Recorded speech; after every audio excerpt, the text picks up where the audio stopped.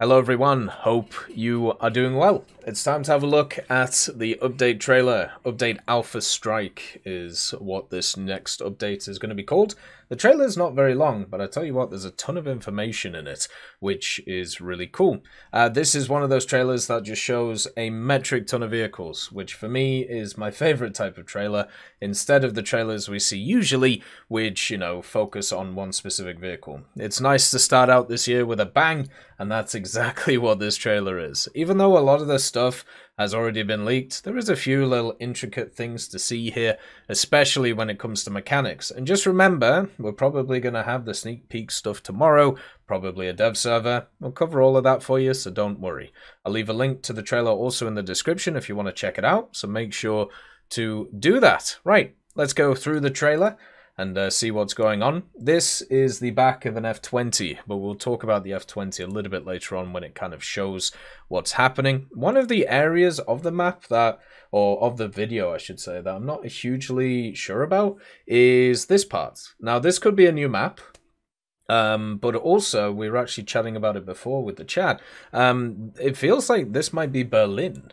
Uh, but so maybe a restructured Berlin or something like that. Things are in English though. Like you can see here that well, you can't see with the chat, but it says Fluffy Cats uh, Coffee Shop. And then also you have, of course, the statue and then a bunch of English stuff as well. So we might be getting a rework of one of the city maps, or we might be just getting a new map in. Uh, we'll have to see as it goes forward. Usually they like to tease the maps a little bit uh, in this, uh, but generally it's not something that uh, is shown massively. We have our first cockpit, which just breezes by, and you can see here that with the writing, it is definitely not English. So this looks like a Russian uh, jet uh, kind of cockpit. It has a lovely sight in the middle. This might be the Su-25's uh, cockpit, which got leaked. It might be a different um, it might be a different vehicle as well. Who knows? But it's definitely from the eastern side of things. For me, I would guess this is the Su-25's one uh, that we talked about. Uh, since, you know, they in the leak list, there was one which is a very heavily kind of modernized variant of the Su-25 uh, which uh, is around the place. Continuing with the Russian side of things, you have a Strela, and uh, not a Strela, uh, I should say, a Shilka. the Strela is the missile. The Shilka is the ZSU 23-4, uh, which means it has the 423 millimeters. We actually have a few uh, Shilkas in the game. We have one in the USSR tech tree, we have one in, I believe it's the Israeli tech tree, and maybe one somewhere else as well. Uh, what this variant of the Shilka is, is it's the ZSU 23-4M2, or the M4, or one of those. Basically, it has a new FCS uh, system, uh, so it will be able to uh, go after targets easier, probably has a better radar too, and also you can see on the back it has actual missiles. So now that they've put the Strela up in BR, um, which uh, is now at 10.0 I think, now this one can be in the gap between some of the earlier AAs for the Soviets and the Strela.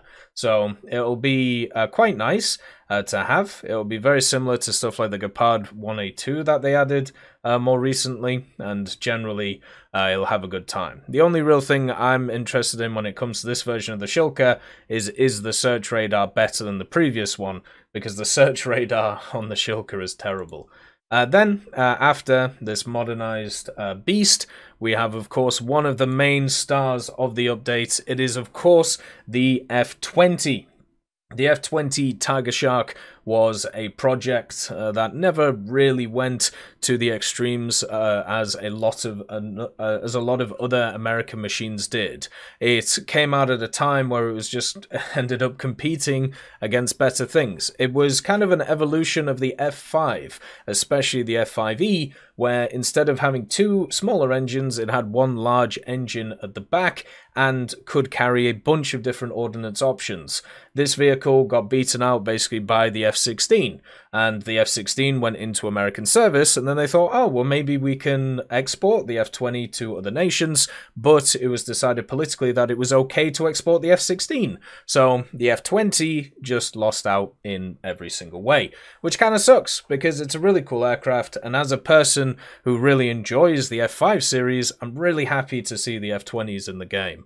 And uh, they did say in the leak list this will be a premium. That would suck um, because it is such an iconic aircraft. Uh, it is one of those what if aircrafts, uh, which really would have been nice if it had given been given a little bit more of a go. But it'll be very similar to the F5, but it'll just have more power behind it, more weaponry options, and also more maneuverability. It'll be a nice vehicle, and you can see here it's holding on to the Mavericks, uh, which uh, it will be able to do ground uh, pounding, but I think its major thing it will be good at is air ordnance and air-to-air -air superiority, just like the other F5s when it comes to the game. And then we have our first look at the M60 2000. So the M60 2000 is a kind of baby of an M60 and an Abrams. What they did is they took an M60 A1 chassis and they plonked an M1A1 turret onto it. The reason they did this is because they were kind of showing to a lot of nations that had old M60 chassis, hey, if you want to upgrade them at less of a cost than buying new age MBTs, you can just do this. Uh, nobody went for it, so there was only one prototype ever made, and this is that prototype. There's a better picture of it later on, so we'll uh, have a look at it. And then, of course, it's the boy the FV721, the Fox armored car. This is a beautiful little British machine, and it has the Rarden gun, so I have no idea how uh, this thing is going to do in the game. It has the same gun that is on the Warrior, um, but it doesn't have access to ATGMs. It doesn't have access to anything like that. It literally just has the Rarden 30mm, the unstabilized, very slow firing 30mm with probably APDS. They made a ton of foxes and they were farmed out to a bunch of different nations. And also, at the same time, you can see it has smoke grenades. It's a really small guy, so it's just going to be a pretty fun scout. It probably won't have access to anything crazy, has a pretty decent engine, and can go pretty quick, but at the end of the day, it just doesn't have great firepower and also uh, will just get annihilated even just by tin can hitting it. But really nice to see it uh, nowadays. A lot of people have been asking for British, um, you know, armored cars for the longest time, especially after the South Africans got added. Well, now you get your wish. And then we have an Alpha Jet uh, in the form of a French one. And there is actually, once again, later on, there is another Alpha Jet which we'll have a look at too. There is the better look at the M60, by the way. Uh, so uh, you can see here, uh, this is what it looks like on the move. But one thing I want you to kind of look at uh, when it comes to the M60 here is look at this turret ring. Oh my god! I've I don't think I've ever seen a bigger shot trap. I don't I don't think I've ever seen anything that is just going to eat rounds as much as that. If you've ever played an Abrams, you already know that turret ring is a big weak spot. Now imagine you just made it bigger. I don't really see any extra armor either on the M60 chassis. One of the key questions about this vehicle is what will happen uh, when it comes to its engine. Does it get the M60A1 engine or does it get an upgraded engine? And that will make a big difference on what BR this thing will be at. But wherever it's at, it's going to be really odd. You know, it has obviously the decent gun. It looks like on there it's a 105, but I'm pretty sure it should be a 120. Um, that might just be, you know, depth perception and stuff like that screwing with me. Uh, but yeah, it's going to be very, very odd to try and balance this machine. Then uh, you have the inside of another cockpit. Pretty sure this is the F-20s uh, that they've been working on. And then our first look at a Chinese Wonder Boy. So you know how uh, we talked about uh, before, the ZBD-04? Um, or the ZBD04A, I think it was. But uh, yeah, this is the BMD for for China. It's a box uh, with access to a hundred millimeter uh, rifled gun, or maybe not rifled, but it's it's a gun. And then it also has a coaxial thirty millimeter. So set up incredibly similarly. You can see the thirty millimeter right here, then you have the 100 millimeter here. Set up incredibly similarly to like the BMD4 and also the BMP3, so it can fire ATGMs out of its out of its main cannon, and then probably like a HE or a heat shell or something like that. And then also it has a 30 millimeter in the form of coaxial. So this will be really nice, and also it'll have decent mobility. It won't have a lot of survivability, uh, but it does have smoke grenades, and it should have thermals and also scouting, of course. So this one will be a lovely addition to the uh, Chinese tech tree uh, to play at the higher echelons, uh, which will be nice. And then we have a great reveal. Uh, this is the Hungarian air tech tree. Uh, so this is going to be the uh, the uh, the sub tech tree uh, for Italy of Hungary. So you know how we got Hungarian ground forces?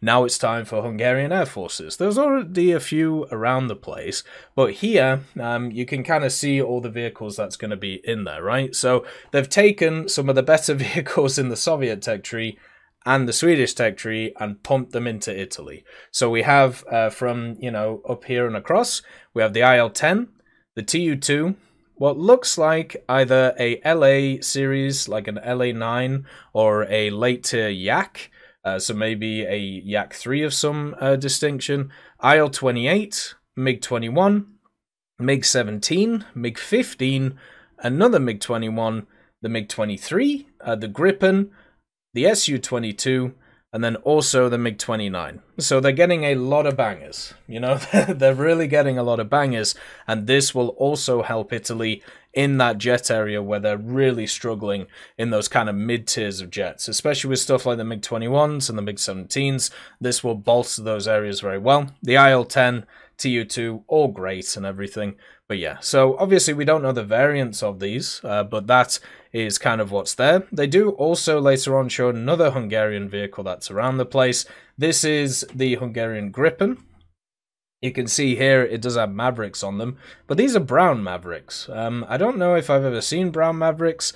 Uh, we probably have them in game already, uh, but yeah, they're they're a very odd color, and they definitely uh, kind of sit themselves out, right? Like they're, they're a little bit odd. And of course, the M60 once again getting battered by an F. The the weird one about this, right? And I wish they didn't do it like this, but um, the the vehicle that actually does the drive by here this is the F20. So for some reason, the F20 is trying to hammer an M62000. You know, maybe maybe in an alternate universe, but I've always found that a bit weird. The good thing about this shot is you can see what armament uh, the F20 has. So it can carry six Sidewinders, of either AIM-9Ls or AIM-9Ms. Uh, my guess would be AIM-9Ls uh, because if they added AIM-9Ms to it, it would be a pretty high BR vehicle. And uh, if you have a look at stuff like the F-16A, for example, at 11.0, it has access to six AIM-9Ls. Wouldn't be surprised if this vehicle was like 11.7 with kind of a similar armament, and then, yeah, we'll have a good time. Should be quite fun uh, around the place. Then uh, some kind of HMD for helicopters. Uh, so you can see this kind of new uh, hood here uh, that you'll be able to see. So this will be great for VR guys. Uh, you'll be able to see what's going on. The Yak 3, don't know which version of the Yak 3, but it is definitely a Yak 3. Uh, for Hungary uh, alongside the TU2. I really like the actual insignias and decals that these uh, things have, and also the colors. Like that, that, it's a very bright green. You know, it's um uh the I don't think they're walleyes. I think they're just mavericks. They, they I mean they could be walleyes. Um uh but uh I like the bright green that Hungary is bringing. Uh it's a very high contrast compared to what we've seen previously. And then of course the MiG-29 and the Gripen together. My god, uh, once again, you know, if if you want to get to these jets quickly, you better start grinding the Italian tree. You'll be able to get these so much quicker than other tech trees. And it's just going to be kind of crazy when they decide to do it. And then there's a little tidbit, once again, the Alpha Jet. You know, this uh, vehicle, uh, which is coming in. It's another kind of strike aircraft slash trainer slash whatever you want to call it. Very similar to the AMX International, very similar to stuff like the Su-25, the A-10, in how it's at least going to work in War Thunder. So it's probably going to have some pretty crazy armaments, but its engines, it's not going to be a supersonic, um, you know, uh, it's not going to be a supersonic uh, capable vehicle. It's just going to hover around the 900 to 1,000 kilometers an hour and be able to end you with some crazy weapons. I also want you to have a look at the map in the background because obviously That map ain't in War Thunder, is it? That map looks very different and looks very similar to certain European countries. There's a reason why they're using some very bright colours, and you'll see it in this one as well, but this is obviously more destroyed. Unfortunately, the Alpha uh, jet is destroying what looks like the IFV from Japan. Uh, don't know if they're going to get a, an upgraded version, but I don't think they will. It's just getting battered for some reason. Um, and then, of course, the little Foxy moving around, having a great time. Some BTRs getting annihilated by an Apache and uh, showing the HMD off. And then once again, uh, showing that this is uh, going to be like for VR, and then obviously for general controls, which is just nuts at the end of the day. And there you go. There is uh, the F-20. Here is another cockpit, probably the F-20 cockpit. Strela, um, sorry, not Strela, I keep saying it, an Igla destroying an A-10. By the way, right, look at this loadout this A-10 has. This dude is is just going full rocket. Full rocket! What are you doing? At least get some other ordnance on, you know, get some AIM-9Ls in, get some get some MAVs in. Who goes full rocket? Ridiculous. This guy was just hunting to be destroyed. But yeah, Strela annihilating as we go. There is the French Alpha uh, jet, but then also there is the German one. So this one is going to be farmed out to pretty much everybody, right? The the the Alpha jet, uh, just like or just uh, the the Alpha Jet is one of those which was used by so many different countries and for so many different reasons. So you'll have a bunch of different ones in different tech trees, and they'll all have slightly different armaments. You know how they've done like many other vehicles before. So we'll check out all of that stuff and see if uh, that's around. The UK did use the Alpha Jet. The Canadians also used the Alpha Jet as well. And here is some more of the Hungarian vehicles. So we have what looks like an Su-22 um, up there. Then also uh, we have the MiG-21 with what looks like a countermeasure pod, so I'm guessing that's the SMT or the MF. We have a standard MiG-21, which is probably an earlier version of it. Uh, then uh, we have a MiG-17 uh, with the chunky, chunky fuselage, and this is a MiG-19. So uh, you have uh, some pretty different vehicles there. And that MiG 19 was not shown in that kind of overlay that they did of the Hungarian uh, vehicles, which just seems kind of odd. I don't know why they just missed it out. Maybe they wanted to make a square or something. Um, but overall, you got the Yak 3 and the Tu-2 again, the F20, just showing some other stuff that we've seen before. And that's it. Like, the trailer has a ton of really cool stuff in it, and it's really nice to see all of these general things coming. That we have some mechanics in this trailer. We have some, you know, we have a ton of vehicles in this trailer. A lot of stuff to be very hyped about. But one of the big things that we're missing from the leak lists, from the dev blogs, from the teaser trailer, from everything, is Naval. Where is Naval? What's going on with Naval? What's happening with it? Where is it going? What is going to happen with Naval? That should be the question on everybody's minds. As always, though, uh, we'll be covering all of the new information as it comes out. Make sure to look after yourselves. Peace be with you, and I'll see you next time. I'd like to thank Schnitzel Stroker, Brendan Quinn, Vilneus, Character Fuel, Carrion Crow, Nicholas Richardson, Gus Irenicus, Pyman, Wartinder, Teddy, Daniel Stanton, B. Young, Opium Prime, Masonocrat, Lafouche, Alan Hacker, Sam Arslan, Uncle Bean, and Derek R. for supporting the channel.